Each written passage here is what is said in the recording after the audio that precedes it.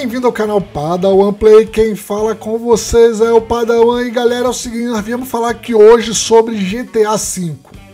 Eu sei, galera fala, ah, mas GTA V, cara, GTA V nada. O pessoal fala, ah, GTA V já era. Nada disso, cara, isso não existe, não tem GTA 6. E aí vem o rumor de GTA 6 e a galera faz vídeo, eu também, diga-se de passagem, para falar sobre GTA 6. Galera, GTA V. GTA V é o que há preste atenção no que aconteceu. Olha só. É, no mês de. Deixa eu ver aqui, verificar para vocês o mês certinho.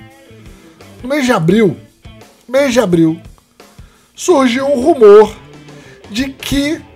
Quer dizer, falaram que vazou, né? Mas ninguém sabe se vazou ou se é caô. Mas estão dizendo. Surgiu um rumor em abril de que vai vir uma nova DLC. Uma DLC bem grande ela vazou no Reddit. É, Reddit é sinistro, né? Bom, e ali, segundo, segundo este vazamento, né? É uma possível DLC pro modo história.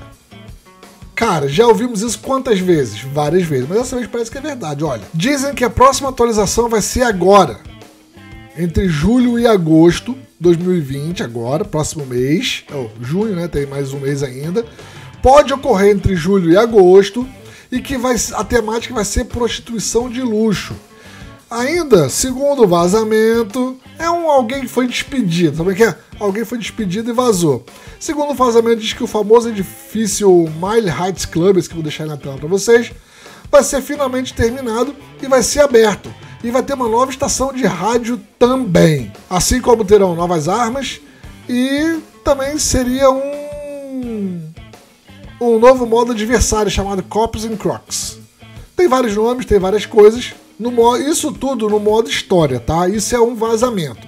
Aí, óbvio que ninguém acredita nesses vazamentos, ninguém dá razão, ninguém fala, ah, isso é maluquice, isso é loucura. Até que ontem, dia 20 de maio, a Rockstar meio que liberou o relatório financeiro deles e disse que GTA V já bateu recordes e vendeu mais de 130 milhões de unidades sendo que 10 milhões foram vendidas apenas em 2020. Cara, é muita coisa, né?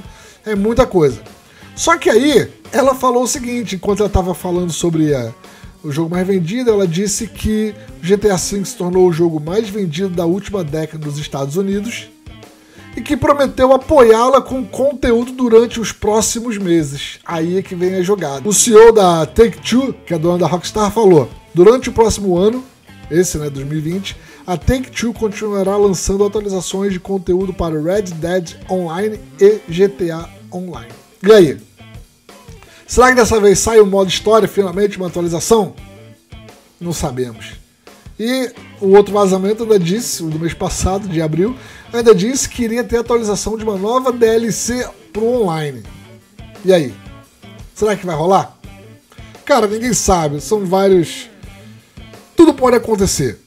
Mas vamos focar por enquanto GTA V, porque GTA 6 está muito longe, tem várias. O pessoal viaja muito, fica só farmando view e farmando like, eu gosto, né? Eu gosto. Vou trazer aqui também mais umas coisinhas. Mas o lance é GTA V. E depois que a Epic Games estava dando de graça GTA V, aí sim GTA V explodiu e a Take-Two, que é a Rockstar, né, que é a dona Rockstar, vai farmar cada vez mais dinheiro e mais players e assim vai. Bom, galera, é isso aí. Esse foi o vídeo de hoje falando sobre GTA V, que realmente é um jogo sensacional, marcou a história dos videogames. Se você gostou desse vídeo, deixa seu like, se inscreva no canal. Se você quer ver mais conteúdo como esse, divulga pros amigos, falou? Tô muito tempo sem trazer vídeo, que minha fonte do meu computador queimou, mas eu vou estar consertando em breve. Agradeço a sua audiência, breve lives também. Um abraço, até o próximo vídeo. Eu fui!